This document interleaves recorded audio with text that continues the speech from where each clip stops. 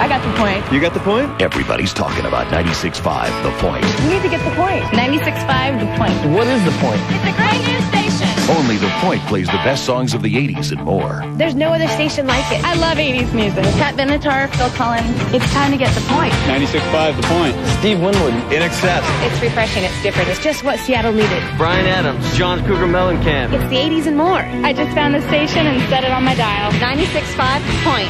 I'm listening right now.